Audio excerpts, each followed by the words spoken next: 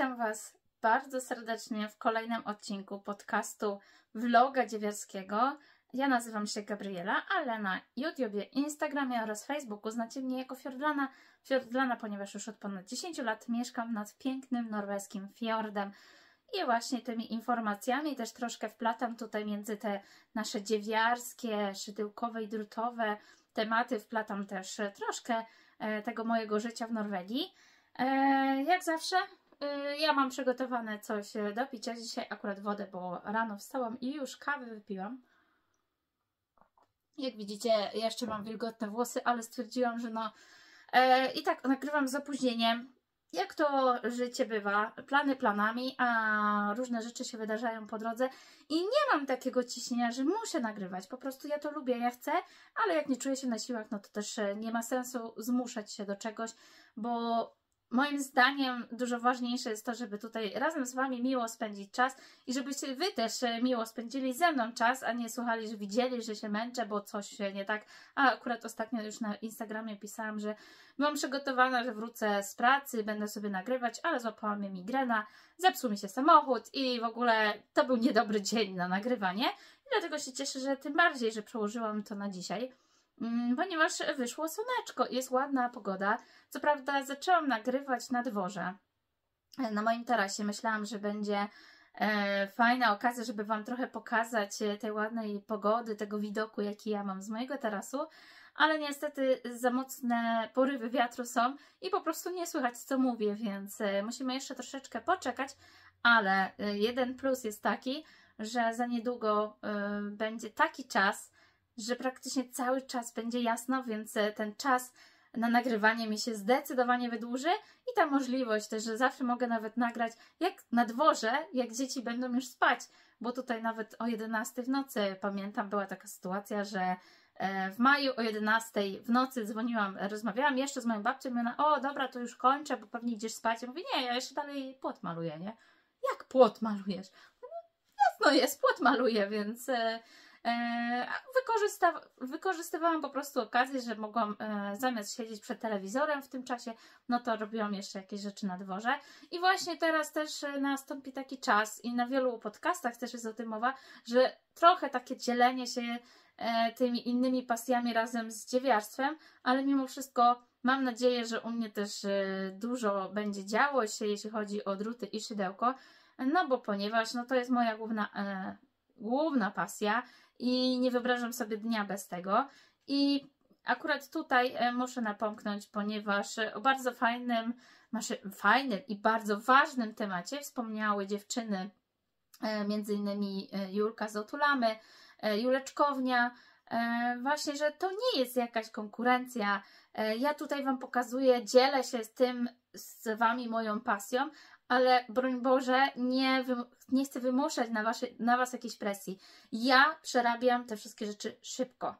E, nawet moja mama, która robi dużo dłużej ode mnie, jest pod wrażeniem, jak ja szybko przerabiam te oczka. Ale dla mnie to jest taka mantra już, że ja po prostu to samo leci i sam, to jest tak, tak relaksujące, jednak to też jest spowodowane tym, że mm, jakby to powiedzieć, tak żeby najbardziej Wam to zobrazować, to w mojej głowie jest coś takiego jak takie ADHD myślowe, czyli po prostu cały czas coś tam się dzieje. I dzięki właśnie tym, że mogę się skupić na e, projektach, na drutach, na szydełku, na projektowaniu, na cały czas, cały czas non-stop mam myśli w głowie, nie że podzielne, na zasadzie coś robię i coś jeszcze myślę w głowie, więc dlatego dużo się dzieje, bo jestem taka właśnie, że mogę podzielić te, te dwie rzeczy.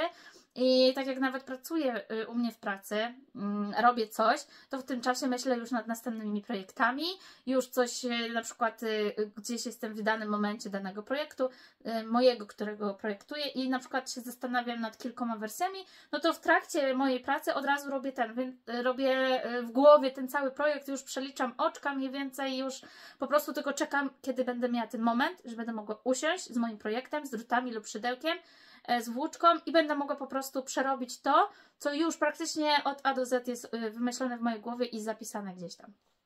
Więc jeśli chodzi o takie rzeczy, to mam super pamięć, najgorsze mam pamięć do imion. I to jest taki wielki paradoks tak dla mnie. Imiona, nazwy, e, jakieś typu trasy gdzieś mam dojechać, chociaż mogłabym być tam 20 razy, to ja czasami wolę sobie tą mapkę jednak włączyć, bo gdzieś wjadę, po prostu zamyślę się i pojadę gdzieś tam dalej. Yy, Wielokrotnie też myślałam, na przykład jadąc do pracy, dobra, dzisiaj muszę po pracy zajechać e, do miejscowości dalej, do pewnego sklepu coś załatwić, albo do dentysty też yy, kawałek dalej i zamiast do pracy to od razu pojechałam tam, w tamtą stronę. Więc yy, to ma swoje plusy, to ma swoje minusy, no każdy jest inny i mm, no najważniejsze, ja to już parę razy powtarzałam i będę powtarzać dalej, nie porównujmy się do innych, jedynie co porównujmy się do samych siebie, czyli do siebie teraz, a kilka lat wcześniej.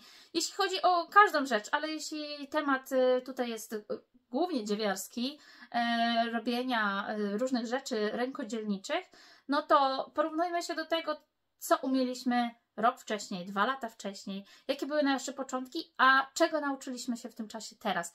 To jest miarodajne i też nie zawsze y, dana osoba, która pokazuje się, tak jak ja Wam tutaj pokazuję, co zrobiłam, a czego nie zrobiłam, y, no to też niezależne jest i ode mnie, y, nie jest zależne od tego, ile ja czasu na coś poświęciłam, bo mogło się okazać, że zrobiłam jakiś błąd, musiałam próć, a ktoś na przykład, nie wiem, nie powiedziałam tego tutaj na tym, a już myślicie, o, ona wszystko, wszystko jej wychodzi, wszystko robi, ja tak nie umiem, że ach, nie ma sensu.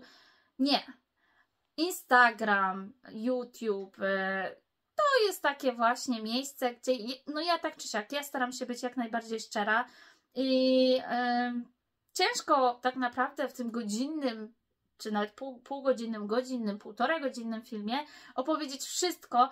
E, no, tego dnia rano wstałam o tej i o tej, zrobiłam kawę, 5 minut e, posiedziałam na szydełku, później poszłam ze śniadanie, umyłam zęby, e, nie wiem, pojechałam do pracy, ale jeszcze musiałam napompować powietrze do opony, bo mi się, no nie ma sensu nie ma po prostu tak też tej realnej e, takiego wymierzenia, ile tak naprawdę każdy z nas ma czasu na dzierganie. Bo co z tego, że na przykład ktoś wydziergał, miał pół godziny na dzierganie, ale pod sam koniec okazało się, że 20 rzędów niżej był jakiś dość poważny błąd i trzeba próć. No i te pół godziny praktycznie gdzieś uciekło, a tak naprawdę cofając się i robiąc to samo, no to już jest godzina, a przez tą godzinę mielibyśmy dalej o tyle więcej tego projektu niż e, te cofanie się.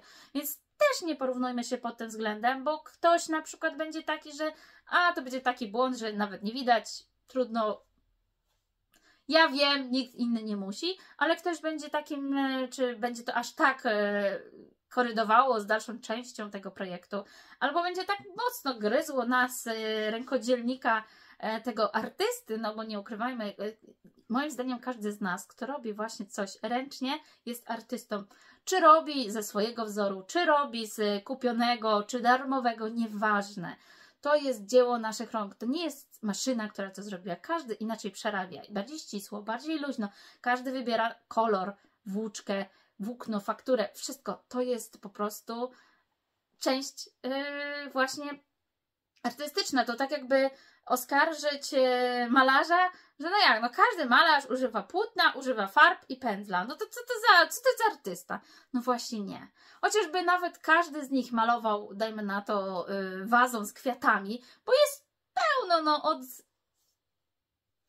naprawdę milion takich obrazów. Co prawda mogą się różnić wazony, mogą się różnić kwiaty, kompozycja cała, tło i tak dalej, stylistyka, jakieś, ja aż tak się bardzo nie znam, więc nie będę tutaj e, za bardzo się wdrażać akurat w to malarstwo, ale tak myślę, że najłatwiej to po prostu e, przełożyć. I mimo, że tych obrazów powstało pełno, w tych samych kolorystykach nawet, to każdy jest inny. Każdy artysta, każdy malarz każdy rękodzielnik wkłada cząstkę siebie do takiego projektu i to pamiętajmy jest najważniejsze. Nie porównujmy się do innych, porównujmy się do samych siebie, a jedynie inspirujmy się właśnie innymi osobami, bo to jest właśnie ta motywacja. To jest też to, żeby uczyć się nowych rzeczy, żeby być lepszym w tym, co robimy, lepszy w tym, co chcemy robić, co jest naszą pasją, bo właśnie pasja, moim zdaniem, to też jest takie dążenie do bycia lepszym w tym, co robimy, do dążenia do tego, żeby się jak najwięcej uczyć, orientować w danym temacie. Może nie na zasadzie, żeby określić się jako specjalisty danego tematu, bo ja też się nie określam. Bardzo dużo rzeczy nie wiem, bardzo dużo rzeczy też się dowiaduję, dlatego też lubię e, takie różne wyzwania, bo jest to pewnego sensu motywacja dla mnie i wiem, że dla mnie to działa, ale nie musi to działać wcale dla, cie, dla ciebie i wy sami musicie wybrać, jaka jest wasza droga i bardzo mi miło, że jesteście tutaj ze mną. Naprawdę doceniam każdą osobę i ostatnio tak naprawdę zapomniałam, bo yy, miałam o tym powiedzieć, ale jakoś tak yy, wyleciało mi z głowy, ponieważ na Instagramie też pojawiło się ponad tysiąc osób już jest teraz, którzy mnie obserwują na Instagramie. Tutaj też jest ponad tysiąc osób i jestem naprawdę w wielkim szoku. Jakbym teraz sobie pomyślała, że zamiast tej kamery przede mną E, czy zamiast tych zdjęć, które udostępniam, pokazywałabym to grupie ponad tysiąc osób, która siedzi tutaj e, razem ze mną w tym małym pokoiku, chociażby ciężko było się nam zmieścić, ale wyobraźmy sobie, nawet jakby to było 200 osób, to jestem mega wdzięczna, że jesteście tutaj ze mną, że Was ciekawi to, co Wam pokazuję, to, co Wam mówię i że to e, w jakiś sens, w jakimś stopniu Was inspiruje, ponieważ ja tak samo oglądam inne dziewczyny, które nagrywają. Nie zdarzyło się, jeszcze nie ma jakiegoś pana, który nagrywa, ale zachęcam i to bardzo, bardzo często będę powtarzać, sorry panowie, ale no brakuje was, chociaż yy, znalazłam ostatnio kilka panów, którzy mają konto na Instagramie. Mm, jeśli chodzi o rękodzieło, więc jestem bardzo ciekawa. Jeśli znacie takich, oczywiście chodzi mi o polskie, nie chodzi mi o zagraniczne, e, chodzi mi o polskie. Jeśli znacie takich panów, to bardzo chętnie dajcie w komentarzu znać, jak się nazywają. Ja bardzo chętnie też podpatrzę, ponieważ moim zdaniem mm, są bardzo odważni, tak? To trzeba przyznać, ponieważ jest to jednak zdominowana dziedzina przez kobiety, niestety, przynajmniej jeśli chodzi o tą polską sferę rękodzielniczą, e, dziergania, robienia na szydełku, e, dziubania, jak ja to mówię, czy mówi mój mąż. E, no ale moim zdaniem właśnie takie osoby będą też inspirować innych panów, żeby jednak się pokazywać, że to jest nie tylko babskie, że tutaj panowie są bardzo mile widziani, nie tylko ze względu, e, czy robią sukienki, czy robią męskie swetry, tylko męskie projekty, nieważne ponieważ no, to jakby takie za, zarzucenie mi, bo ja robię męski sweter, a jestem e, kobietą. No, a co pan nie może robić sukienki? Czy dla siebie, czy dla jakiejś innej pani, e, swojego życia, czy dla mamy, czy na sprzedaż, obojętnie. To jest po prostu moim zdaniem też piękne dzieło artystyczne i jak będzie tutaj nas e, wśród tej grupy więcej panów, to też myślę, że zachęci to innych, żeby też się pokazać, żeby też spróbować, bo wiem, że niektórzy też się trochę wstydzą spróbować, bo to takie powiedzą, że to takie babskie. Nie, to nie jest babskie.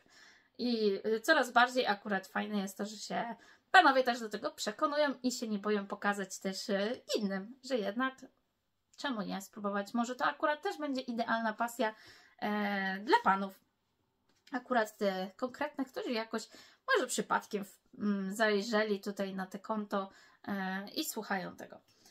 Także łyczek i przechodzimy chyba do tematów. Jeśli chodzi o tak skończone, skończone projekty, to nie mam żadnego. Mówi się trudno, żyje się dalej. Nie no, żartuję oczywiście. Mam prawie skończone, ponieważ z moich resztek emotki sierotki powstała torba, ale jest jeszcze, jak widzicie, tutaj końcówka. E, właśnie ściągnęłam, ona dość długo schła, ponieważ ja prób... Zepsuła mi się pralka. Miałam ochotę to sfilcować i filcowałam to praktycznie ręcznie dwa razy, bo mi się to nie chciało w ogóle sfilcować. Tutaj y, dość mocno się to jeszcze troszkę widać, troszeczkę, troszeczkę się jeszcze tutaj ugina, się faluje, ponieważ ja tutaj zrobiłam to troszkę większe, od razu robiąc na zamek. Jak widzicie, to jest zamek. I y, zrobiłam to troszkę luźniejsze, właśnie, żeby to mi się bardziej sfilcowało. Już i tak jest dość mocno sfilcowane, ale no, przyznam szczerze, że jakby było troszeczkę bardziej to, y, to by było lepiej, ale już chyba czwarty raz nie będę próbować. Już do trzech razy sztuka myślałam, jestem zadowolona. E, I właśnie tutaj mi zostało jeszcze wszycie tego materiału i dlatego nie zamykałam tutaj od spodu, tylko obrócę sobie to na lewą stronę czyli tutaj, gdzie mam wszy, jakby wszyty. Przerabiam od razu zamek, czyli tutaj na zamku e, mniejszym szydełkiem po prostu nabrałam sobie oczka na samym zamku i później po prostu przekładając tutaj przez te oczka nabierała moje słupki. I tak po prostu robiłam różne paski kolorowe. Jak widzicie, yy, motki, środki, cudowna akcja e, Kasi i Marysi, yy, wykorzystałam włóczki, które no ja raczej nie będę z tego nic robić, nie chciałam nic dokupywać, a zostały mi resztki właśnie po tym wielkim kocu i zrobiłam sobie taką torbę projektową. I tutaj właśnie od, po tej lewej stronie przyszyję sobie oczywiście tak, żeby było na, na lewej stronie, tak żeby jak wywinę później z powrotem, jak już będzie wszyta ta yy, podszewka, to sobie zamknę tutaj po prostu ten dół szydełkiem. I tak jak widzicie, tutaj wykorzystam w miarę, były równo kolorystycznie paski, ale tu już przy końcu zaczęło mi tu niektórych, tak tutaj już powinien, ten granatowy, ten mi się skończył. O, tutaj, tak pokażę. Że tutaj ten powinien być cały niebieski, ale w tym momencie mi się skończył, więc dołączyłam tego szar ciemnego szarego, miałam najwięcej, więc dołączyłem ten. I później biały, bo tak, tak mniej więcej starałam się, żeby tak, tak samo szło. I tutaj gdzieś dalej też mi się tu jeden, a tu z tej, akurat wyszło z tej strony. E, tutaj mi się ten szary jasny skończył, e, więc zaczęłam tym niebieskim do końca. No i ostatni rząd zrobiłam.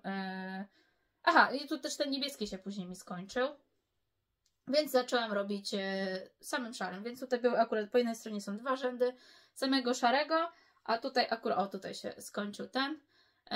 właśnie nie wiem czy widać, o, skończył mi się to już ten niebieski, więc właśnie te dwa ostatnie rzędy, po jednej stronie są dwa szare, a tu jest na pół szaro-niebieski, ale to nie, nie ma aż takiego znaczenia, wyszedł mi idealnie, no może prawie z tej strony pokażę, kurczę, akurat z każdej strony ten, ten e, kawałek połączony, bo tutaj jest ten niebieski z szarym, jasnym i tutaj jest y, ten niebieski ciemny z szarym y, ciemnym, ale aż tak to nie widać, e, będzie to albo torba projektowa, albo torebka, ponieważ tutaj jeszcze do końca nie zszyłam tego, tylko mam jeszcze e, dziurkę powiedzmy, więc jeszcze bym była w stanie dorobić ewentualnie pas, pasek, ale że nie mam włóczki, no zostało mi dosłownie tyle, e, praktycznie na same zszycie, tutaj zamknięcie, prawdopodobnie zamknę szydełkiem, żeby właśnie jak najwięcej tego zużyć. E, no i może być problem właśnie z czego, ale mam jedną e, torebkę, Kiedyś kupowałam torebkę sobie e, w tak zwanym lumpku. No i po jakimś czasie po prostu z boku mi tam e, szef poszedł. Gdzieś, czy już się za bardzo przetarła, nie pamiętam, ale wiem, że dziura mi się tam zrobiła. No i szkoda mi było, yy, szkoda mi było wyrzucić tę torebkę, bo stwierdziłam, że może kiedyś mi się do czegoś chociaż ten sam pasek przyda. No i tak właśnie myślę, czy nie dodam tutaj do tego. Co prawda on jest dość cieniutki, czarny. Czarny będzie pasować, nie będzie problemu. No nie wiem, jeszcze zobaczę. Albo zostawię to po prostu jako zwykłą taką o luźną torbę projektową. Jestem mega zadowolona. E, mój pierwszy projekt e, z tej serii będzie, czyli motki, środki. Już jest prawie skończony. Myślę, że dzisiaj go skończę, najwyżej wieczorem. Będę miała chwilę, żeby e, usiąść, e, wszyć właśnie tą podszewkę. E, jeszcze myślałam, czy nie użyć jakiegoś innego materiału i żeby dorobić sobie jeszcze ze dwie przegródki, bo to by było akurat super przy torbie projektowej. Że z jednej strony bym miała moteczki, e, ewentualnie miejsce na wzór, no ale zobaczymy, muszę, muszę poszukać, mam jakieś takie w miarę pasujące do tego wzoru materiał, no ale zobaczymy jeszcze. Także to jest projekt, e, który jest już prawie skończony. No i mam nadzieję, że następnym razem, jak już będę Wam nagrywać, no to już będzie na pewno skończone. No i na Instagramie pokazywałam e, zdjęcie taką trochę zajawką, ponieważ oczywiście e, jak już prawie skończyłam tamten, mi się już suszył już po raz kolejny ta torba, e, no to stwierdziłam, że no coś by jeszcze wykorzystać. I tak, może tak.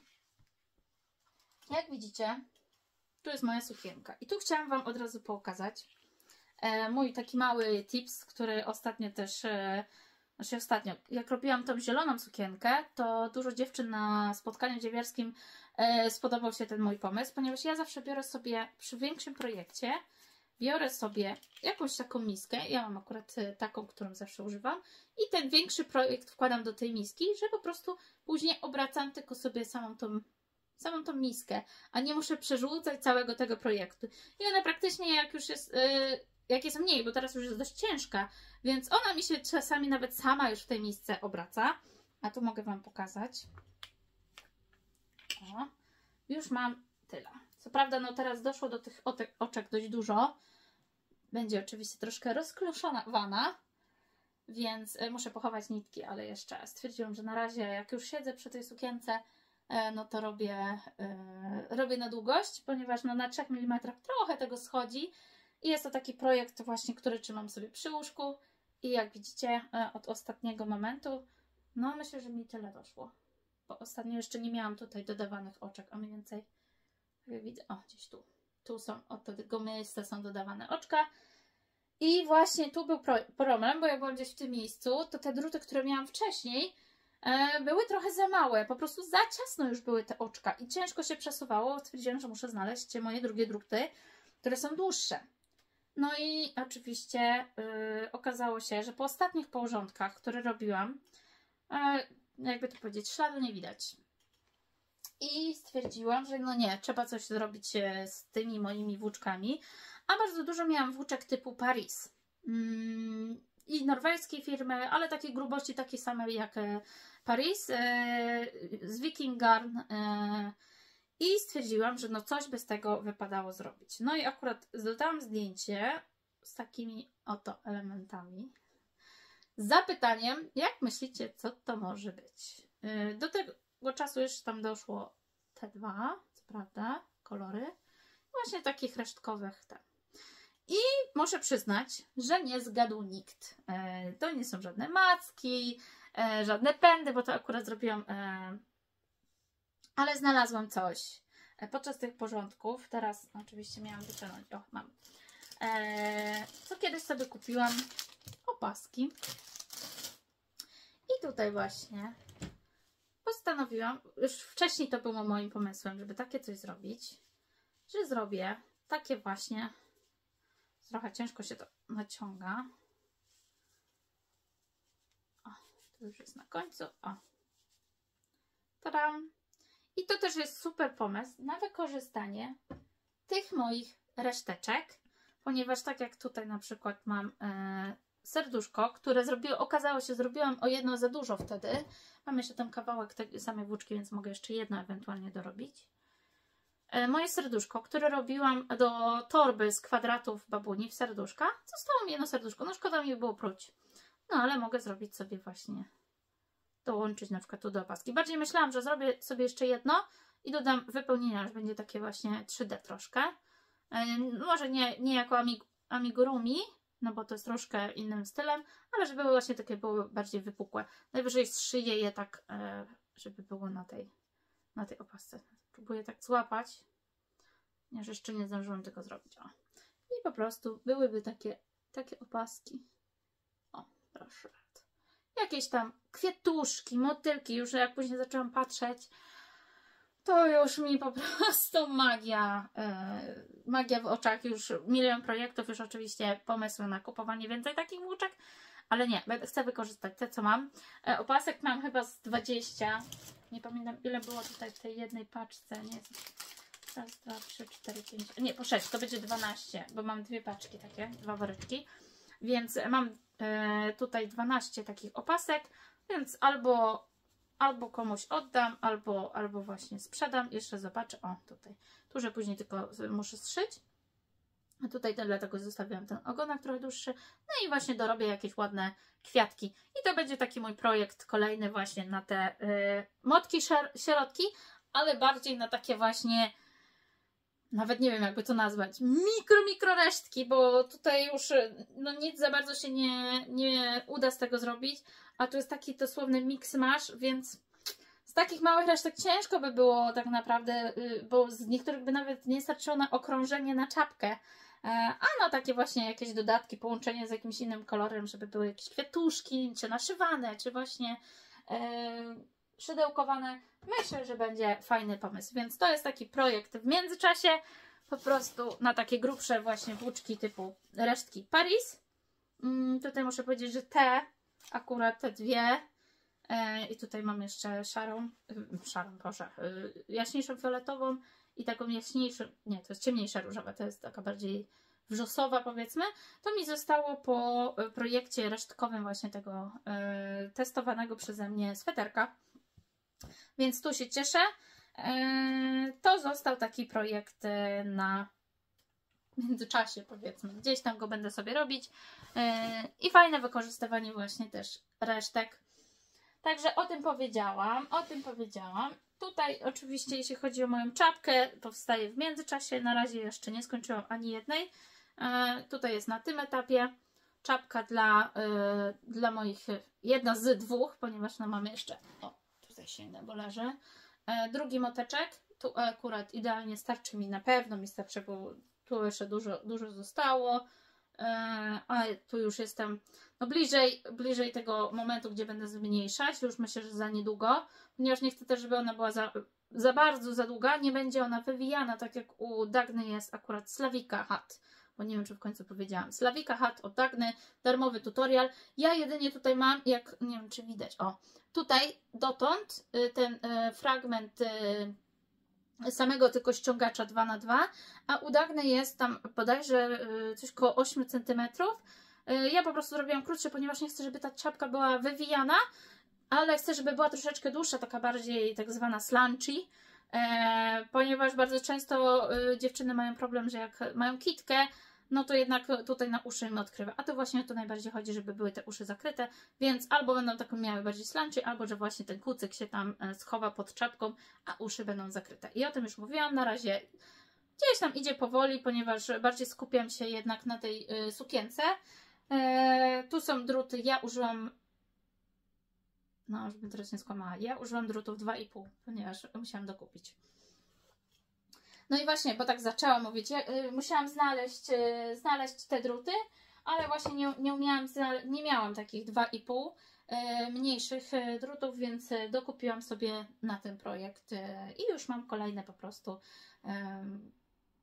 Jakoś chyba Chyba pozostanę jednak przy dokupywaniu tych drutów Adi. Mm, najbardziej mi się sprawdzają. Najwygodniej mi się z nich robi. Ja lubię, jak mi się te oczka ślizgają. Zresztą, jak wiecie, moje tempo jest szybkie, więc szybko te oczka lecą. A nie mam tego problemu, że niektórzy twierdzą, że jednak e, są za śliskie i spadają im te oczka, więc tutaj trzeba dostosować do siebie. Mnie właśnie hamuje. Próbowałam na tych drutach. Yy, nazwa teraz mi wyleciała, Symfonii od Nit Pro, ale właśnie dla mnie za słabo one się tam ślizgają. Takie mam wrażenie, że coś mi tam hamuje. Fajnie się nawet robi, ale no nie, nie jest to koniecznie dla mnie. Troszkę mnie, są momenty, że zaczyna mnie to denerwować, więc e, tracę tą przyjemność dziergania, więc e, ja myślę, że zostanę jednak przy, głównie przy metalowych drutach. Kolejnym projektem, który niby się ruszył, niby się nie ruszył, e, ponieważ ostatnio Wam pokazywałam próbeczkę, którą zrobiłam właśnie, no tak muszę na jakimś tle, e, próbeczkę, ale stwierdziłam, że tu troszkę za duże oczka moim zdaniem są. No i stwierdziłam, że to porobię sobie jakieś inne próbeczki, popatrzymy. No i tutaj jest też oczywiście z dużymi oczkami, taka e, kratka troszkę. To mi się też dość już podoba. Tutaj akurat na drugi, wziąłem drugi motek, innymi kolorami, już troszkę mniejsze też robiłam, żeby tylko sprawdzić. Tu jest mm, coś ciemnego się. O, też takie lekkie dziurki, bo chodziło właśnie, żeby były troszkę dziurki. I tutaj taki wzór, ten mi się też bardzo podoba. No i minus jest taki, że już praktycznie na każdy z tych wzorów mam jakiś pomysł, więc e, dalej e, nic mi to nie pomogło. Nie wiem, na który się jako pierwszy zdecyduję.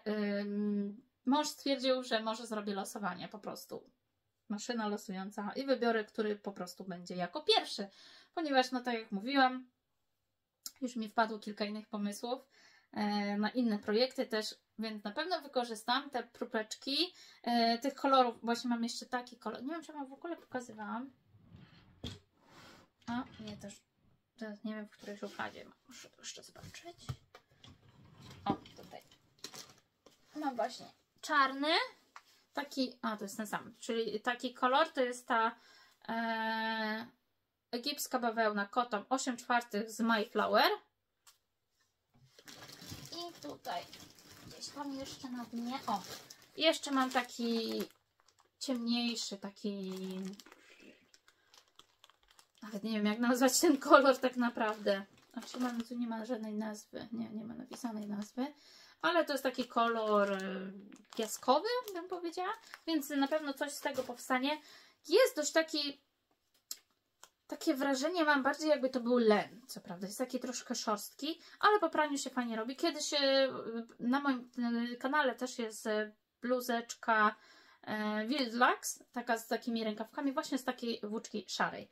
Więc bardzo fajna, bardzo przyjemna, więc myślę, że kilka projektów letnich jeszcze w najbliższym czasie powstanie. Nie obiecuję kiedy, bo jak widzicie, pomysłów mam pełno czasu, różnie, różnie to bywa, ale coś tam się cały czas coś dzieje.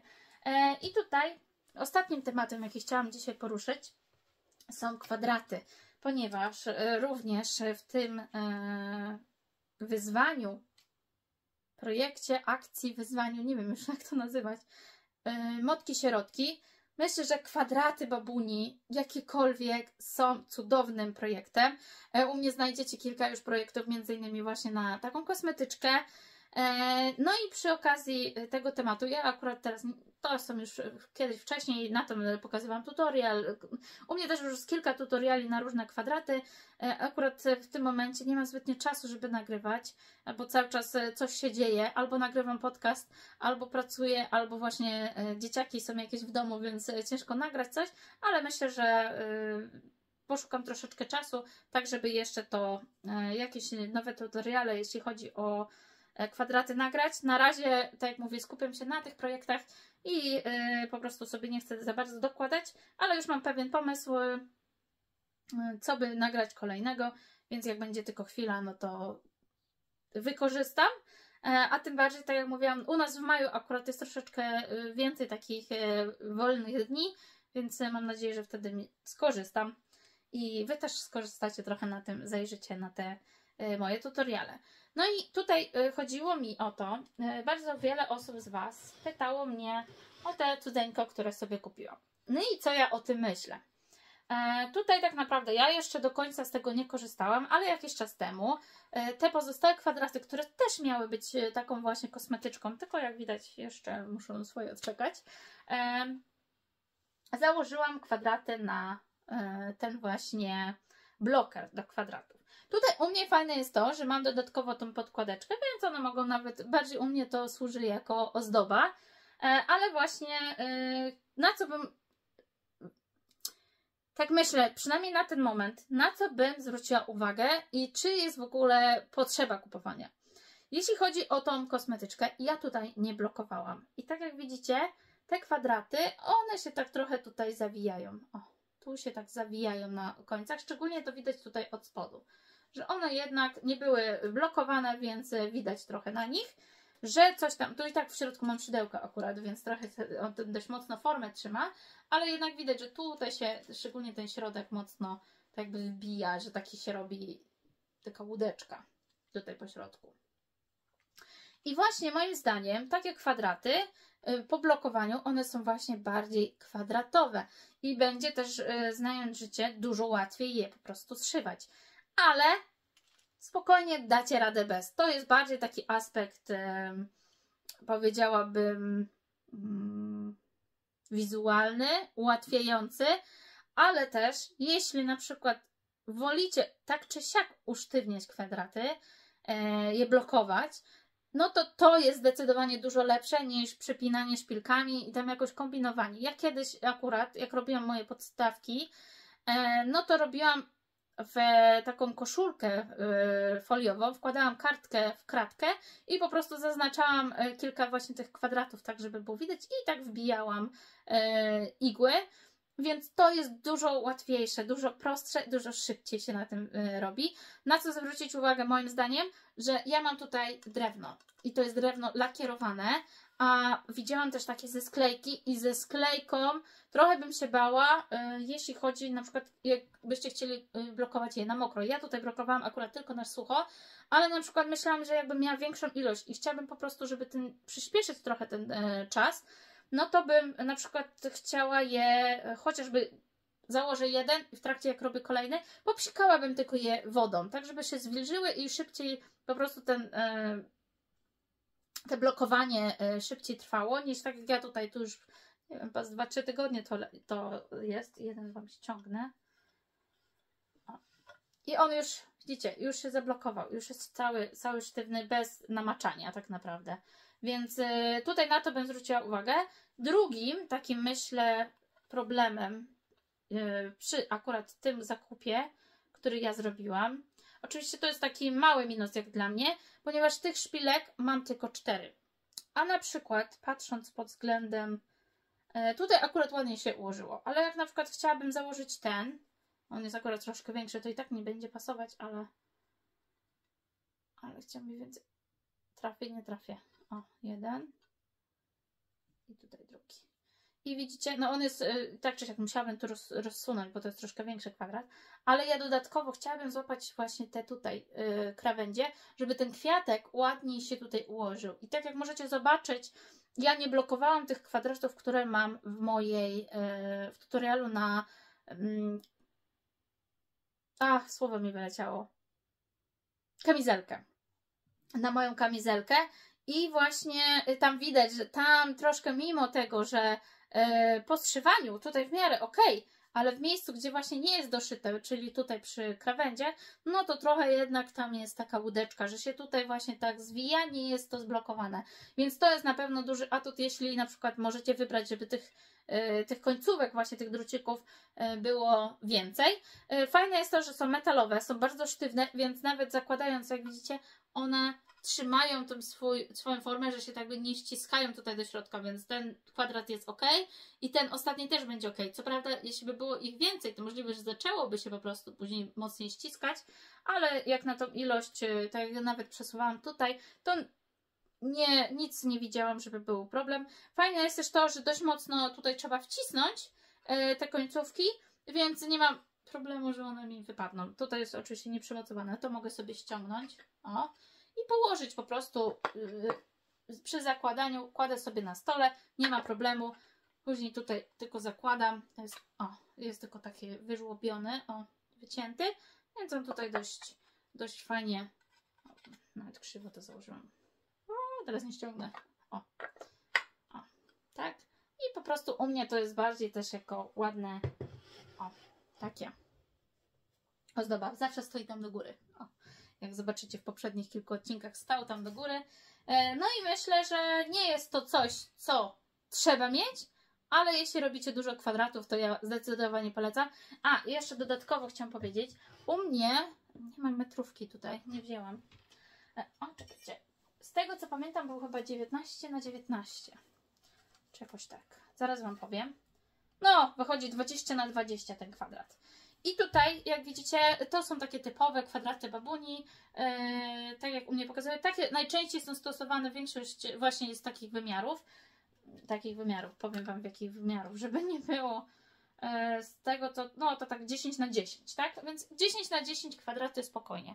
Ale tutaj są też różne wymiary tych właśnie blokerów, więc jeśli robicie dużo projektów, gdzie macie dużo kwadratów, no to ja bym się zastanowiła nad większą wersją, ponieważ wtedy możecie zrobić, yy, podzielić sobie nawet i cztery takie, yy, takie stanowiska, powiedzmy, sobie rozłożyć na, na takim jednym y, blokerze i po prostu dużo szybciej one Wam się zblokują. Nie musicie czekać, aż te się zblokują, żeby je po prostu wymienić na nowe. No ale to zależy właśnie, jeśli blokujecie, albo macie dużo takich większych projektów, no to jednak też wykorzystałabym yy, większą. Jeśli już byście kupowali polecałabym większą. Ja akurat nie planuję aż tak bardzo robić e, dużo tych kwadratów. Może tak. E, wydaje mi się, że ten właśnie bloker mi starczy. Na spokojnie nie potrzebuję aż tak e, większego, a jeśli będzie jakiś taki większy projekt, to i tak czy siak będę chciała robić po prostu, zrobić trochę kwadratów, zablokować i po prostu poczekać i po prostu później tylko wymienić. U mnie to raz na jakiś czas, robię też więcej na drutach, więc Będę miała co robić, nie będę się stresować, że muszę czekać, aż te e, kwadraty mi się zblokują. Eee, I tak, na sam koniec e, bardzo dziękuję, że tutaj byliście razem ze mną. Ale jeśli Was jeszcze interesuje takie kilka słów e, właśnie tutaj około dziewiarskich dzisiaj, ale związanych właśnie z Norwegą, Norwegią, z Norweżkami głównie, bo jednak tutaj głównie panie robią um, rękodzieło, jeśli chodzi związane z włóczką, no to Was zapraszam e, teraz do tej troszkę krótszej, dalszej części. E, a mianowicie, no to chciałam Wam powiedzieć, ponieważ zastanawiałam się dłuższy czas, czym mogłabym się tak zająć, bo bardzo dużo osób mm, które mnie zna, które wiedzą właśnie z tej grupy mm, dziewiarskich, bardzo często mnie pytają, czy czy będę się wystawiać na różnych takich targach przedświątecznych i tak dalej. No ale ja cały czas się zastanawiam, no ale z czym ja mam się wystawić? Ja robię tak dużo rzeczy, że ciężko mi będzie znaleźć coś takiego, co chciałabym robić, ale pomyślałam właśnie, że tutaj akurat Norweżki bardziej robią na drutach i jest bardzo mało tego szydełka, więc to jest chyba mój atut i jednak bardziej szydełkowo będę e, szła i właśnie dlatego też te moje opaski, które będę robić, ponieważ no mało osób robi na tym szydełku, więc jest to bardziej popularne, jeśli chodzi o sprzedaż, że jest coś, Mm, bo jakbym robiła sweter, to swetrów to jest od groma. Jeśli chodzi o swetry szczególnie takie typowo norweskie, czyli e, z żakardowym wzorem, to jest do tego pełno. Ażury też się zdarzają. No żakard to jest taki typowo norweski wzór. Nawet na wielu stronach jest e, opisany nie jako żakard, ale jako e, wzór norweski. Dlatego to jest takie popularne, więc ja nawet nie chcę za bardzo w to iść, bo tego jest dużo. Jeśli chodzi o taką, powiedzmy, na sprzedaż, czy robienie dla kogoś, to na pewno, chociaż miałam parę razy pytanie, więc stwierdziłam, że no nie ma, nie ma sensu, żebym ja to robiła, jak ja nie mam aż tak doświadczenia, nie czuję się w tym aż tak dobrze, aż tak pewnie, żeby to robić dla kogoś. E, a jest tu tyle bardziej utalentowanych e, osób, które to potrafią. Sama dla siebie chcę się troszkę nauczyć, chciałabym e, poszerzać ten mój warsztat i po prostu robić. Już kilka mi się projektów udało. Kilka czeka. Te włóczki chyba to będą cały czas czekać. Jak oglądacie moje odcinki, to wiecie o co chodzi. Mam już wzór, mam już włóczkę. Czekam tylko na taką moją większą motywację, ale myślę, że to dopiero jak skończę kilka projektów, które chciałabym jeszcze skończyć przed wakacjami. Ale z tym zobaczymy. No i dlatego właśnie e, stwierdziłam, że e, postaram się coś naszykować na sam początek, tak żeby wystawić się, powiedzmy, może nie wystawić. Raczej chyba nie pójdę na taki większy market, jaki tutaj jest, ponieważ no, tam trzeba opłacić stolik i bym musiała mieć trochę tych rzeczy, żeby po prostu coś tam pokazać. Ale e, w naszej pesmanterii, właśnie przed świętami, zawsze jest możliwość jakby mieć taki, ma, jest taki jeden pokój tam, gdzie my właśnie mamy te spotkania dziewiarskie i wtedy tam można sobie kawałek e, zagospodarować, gdzieś tam coś powiesić, zaznaczyć e, od kogo to jest, w jakiej cenie i podaje się numer telefonu, że właśnie można wtedy zapłacić takim przelewem przez telefon. W Polsce to się chyba Blik nazywa, u nas to się nazywa VIPS, więc można zwipsować, jak to większość mówi. E, dlatego e, postanowiłam właśnie, że skupię się troszkę na takich drobiazgach, żeby spróbować, czy to będzie e, może kogoś zainteresuje. Mam też kilka chust, których na szydełku, których, które zrobiłam dla moich dziewczyn, ale jakoś są nie za bardzo popularne u nich. Już mm, no nie wiem, najwyżej je sprzedam. Zobaczymy, żebym miała też coś co pokazać może kogoś zainteresuje, może ktoś się zgłosi, że coś chce konkretniejszego, zobaczymy. E, nie nastawiam się na to, żeby robić tutaj jakoś specjalnie na zamówienie i tak dalej, no bo jest to jednak też takie troszkę mm, taka presja i też robić x rzeczy powielanych to też nie jest aż taka wielka frajda, dlatego wolałabym tak o z tymi opaskami na przykład, e, żeby robić kilka różnych, ale nie takich unikatowych, o, tego słowa mi brakowało, unikatowych, czyli nie będzie za bardzo powtarzalnych. Oczywiście, jeśli ktoś będzie zainteresowany dwoma sztukami, bo ja wiem jak to jest, e, też mam dwie córki i one bardzo często lubią takie same, ale żeby na przykład były troszkę różny kolor albo troszkę mały szczegół e, inny, żeby mogły rozróżnić, ale żeby nadal było to takie same, więc wtedy nie widzę problemu, oczywiście mogę takie coś zrobić, ale jednak nie chciałabym robić tego typu takiego hurtowego 20 takich samych czapek albo nie wiem, jakichś innych projektów.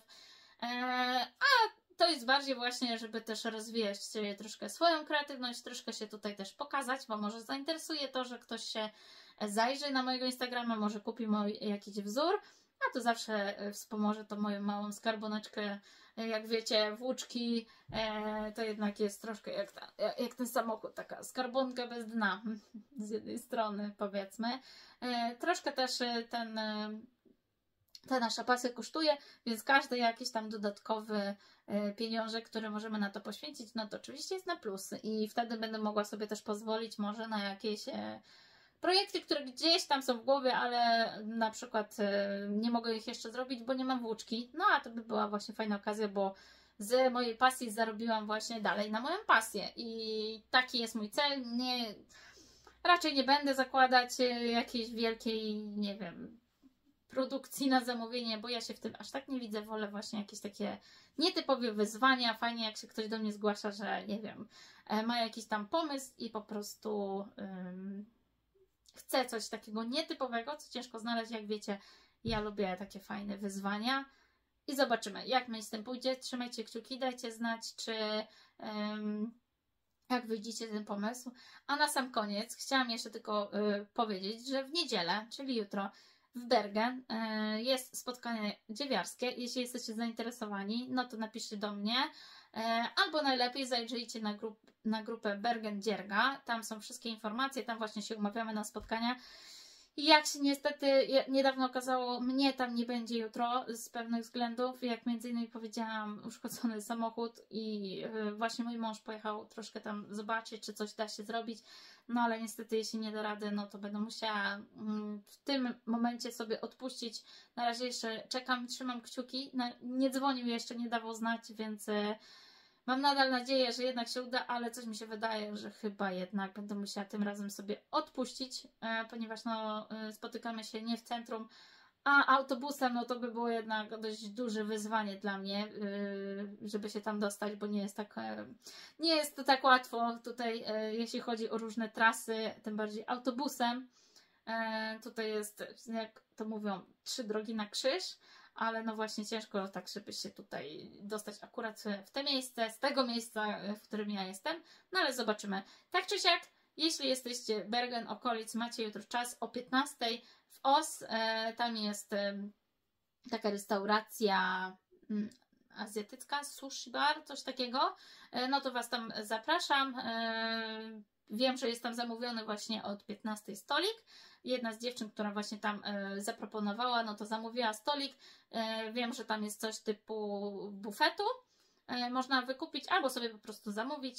Oczywiście coś do dziergania, chociaż i tak ostatnio ja też trochę mało podziergałam, bo była taka cudowna atmosfera, więc bardzo żałuję, jeśli się nie uda, ale na pewno jeszcze będą inne okazje. No i zapraszam Was, jeśli jesteście z okolic Bergen, albo będziecie się wybierać na może jakieś wakacje w Bergen, czy mieszkacie gdzieś, ale dalej, ale jesteście w stanie dojechać, to dajcie też znać. E, oczywiście postaramy się zorganizować też takie spotkanie konkretnie, jeśli będziecie w danym terminie w Bergen. Nie ma takiego problemu, e, na pewno ktoś się znajdzie. Coraz, e, coraz bardziej powiększa się ta grupa. Tak jak mówiłam, na pierwszym spotkaniu było 7 osób, ale coraz, e, coraz częściej dołączają jakieś nowe osoby, więc liczę na to, że jednak rozbudzimy tą taką polski element dziergania w Norwegii, że taka społeczność polska też się troszkę tutaj pojawi. Oczywiście, jeśli są tu jakieś panowie z Norwegii, to też zapraszamy. Nie widzę problemu. Nie musicie się bać, my jesteśmy naprawdę. Zresztą, świat dziewiarski tak czy siak jest bardzo przyjazny, myślę, więc Zapraszam bardzo serdecznie każde osoby początkujące, zaawansowane lub takie, które dopiero chcą mm, spróbować, zobaczyć. Nie ma problemu. E, też u nas e, było fajnie to, że ostatnio nawzajem się uczyłyśmy, pokazywałyśmy, bo były osoby, które dopiero pierwszy raz e, kupiły swoją pierwszą włóczkę, akurat tam w, tym, w tym przypadku było szydełko, była totalnie zielona i dziewczyny, między innymi ja też pokazywałam, każda coś, coś tam pokazywała, te, które miały akurat na szydełku, jak po prostu zacząć, na co zwrócić uwagę? I myślę, że właśnie też będzie to fajna motywacja, żeby jednak zarazić się tą cudowną pasją jaką jest e, właśnie dziubanie, czyli robienie na drutach i szydełku. Myślę, że to na dzisiaj koniec i tak z tego co widzę już e, gadam ponad 50 minut, a miał być taki dość krótki odcinek. Mm, na słoneczko coraz bardziej wychodzi, jednak wiatr jeszcze takie widzę po drzewach, że tam się gdzieś kołysają, ale za chwilę najwyżej pokażę Wam takie krótkie nagranie jeszcze tutaj za tego okna i jaki mam dzisiaj piękny widok. Co prawda są troszkę chmury, ale aż tak nie przeszkadza. Coraz bardziej chcemy tej wiosny, ponieważ już widziałam, że y, w Polsce to jednak pokazało się już nawet i lato. Bardzo piękna pogoda u nas, no musimy troszeczkę poczekać, ale i tak nie narzekam E, dzisiaj przede wszystkim najważniejsze to nie pada, więc to już jest duży sukces. Jak nie pada i e, każdy Norweg e, tutaj jest też szczęśliwy, jak jest piękna pogoda, to znaczy nie pada. Może być pochmurnie, może być zimno, ale nie pada, więc jest pięknie. Ale dzisiaj jest cudownie, więc Wam też za chwilkę pokażę. Dziękuję, że byliście tutaj razem ze mną. Dajcie znać, E, czy chcecie po prostu też wiedzieć jakiś e, konkretny temat? Oczywiście e, tutaj staram się co jakiś czas napominać jakieś różne tematy, ponieważ nie chcę też, żeby ten odcinek był tylko o temacie Norwegii, ale tutaj spotykamy się głównie o dzierganiu, ale wiem, że też interesują Was właśnie takie niektóre aspekty związane tutaj z moim życiem w Norwegii, z mojej oczywiście perspektywy, ponieważ no ja nie odpowiadam ze wszystkich, to są moje odczucia, moje przeżycia, mój punkt widzenia i jak Was to ciekawi, to mi jest tym bardziej miło. E, ja tutaj się zakochałam, powiedzmy, e, w tym kraju. Mm, często też dostaję pytanie, czy wróciłabym do Polski. Nie wiem, kiedyś mówiłam, że nigdy w życiu nie wyjechałabym za granicę. Więc e, już teraz nie przywiązuję aż takiej wagi do planów takich długoterminowych, ponieważ życie jest życiem i wszystko może się zmienić stryknięciem palców. Już samo to okres koronawirusa nam dużo pokazał, że plany planami, a życie życiem. Ja to bardzo często lubię powtarzać, ponieważ e, motywacja, inspiracja dużo daje, ale niestety dużo rzeczy też nie jest zależnych od nas i warto się też z tym pogodzić i nie samobiczować siebie, a jedynie patrzeć pozytywnie na to, co jednak możemy zrobić. I tak jak świat się zmienia, to tak samo zmieniać swoje plany, żeby dążyć do swoich marzeń i celów. I tego Wam życzę. E, myślę, że będę kończyć. A na sam koniec, bo tego nie powiedziałam, oczywiście dzisiaj zapomniałam. E, na sobie mam dzisiaj taki troszkę letni udzierk, jeden z moich ulubionych, który zrobiłam w zeszłym roku. To jest Despacito Top od. E, Madeny. Oczywiście link to jest darmowy wzór na Ravelry po polsku. Ja zrobiłam ją z włóczki Mandarin Petit od Sadness Gun w takim właśnie różowo-łososiowym takim e, kolorze. Jestem bardzo zadowolona. Lubię właśnie w połączeniu z tą moją e, kwiecistą bumberką, która tutaj ma właśnie e, takie ładne orchidee między innymi, lub jakieś były jeszcze inne. Tu trochę róża jakaś, e, jakieś kaktus, o więc ja bardzo lubię akurat to połączenie, takie typowo kojarzy mi się z wiosną, latem. E, no i bardzo Was zachęcam też właśnie do skorzystania z tego darmowego tutorialu, nie tutorialu, darmowego wzoru na Ravelry, link w opisie. E, ja już myślę, czy by nie zrobić w jakimś innym kolorze, ale jak wiecie, u mnie jest bardzo, bardzo intensywnie, jeśli chodzi o projekty, więc e, lista tak czy siak z każdym dniem się wydłuża. Eee, no i zobaczymy, jak to wyjdzie. Mm, dajcie znać, jeśli byście robili taki, e, taki top, to w jakim kolorze, bo ja się zastanawiam właśnie, tak jak mówiłam, nad innym kolorem, ale jeszcze do końca nie wiem, jaki kolor by tutaj wybrać. Eee, myślę, że chciałabym jednak, żeby to było też do tej, e, do tej bomberki takiej sportowej, którą mam, bo ją bardzo lubię, a bardzo mało mam topów, które właśnie kolorystycznie pasują, więc może coś w tym stylu. Moja y, Fisketur, y, Fisketur Top też pasuje niebieska, też często w nie chodzę. Więc na pewno nie niebieska. Coś, coś innego. Co, co polecacie? Jestem bardzo ciekawa. Może akurat y, traficie mm, w kolor, bo ja na, no nie wiem jakie. Tutaj jest trochę fioletu. O, nie wiem czy widać. O, tak, tak wygląda. Tu jest trochę fioletu, pomarańczu, więc ten łosoś super moim zdaniem się tutaj komponuje. Dużo osób zwróciło mi na to uwagę. Więc e, no jestem ciekawa. Dajcie znać. Mam nadzieję, że będziecie mieli dużo czasu na dzierganie. Pamiętajcie, nie porównujcie się do innych. Ja tutaj dziergam niby dużo, ale mało jednak. Dla każdego zawsze jest e, e, tyle czasu, ile ma. To każdy jest na wagę złota. Nie, nie przejmujcie się, jeśli Wam coś nie wychodzi. Musicie próć bo jedni prują, drudzy nie prują, jedni prują, nie pokazują, a wydaje się, że robią nie wiadomo ile, więc na spokojnie. To ma być przede wszystkim pasja, to nas ma przede wszystkim cieszyć, a to akurat jeśli chodzi o podcast, vlog, to ma Was przede wszystkim inspirować i po prostu spędzać miło czas. I ja bardzo miło czas z Wami spędzam, chociaż y, mam uczucie dziwne patrząc tylko do kamery, ale lubię jak piszecie do mnie komentarze i odzywacie się, chociaż wysyłacie serduszko. I ja Wam też wysyłam serduszko. Kończę już na dzień dzisiejszy, nie będę przedłużać. Do zobaczenia w najbliższym czasie. Pa!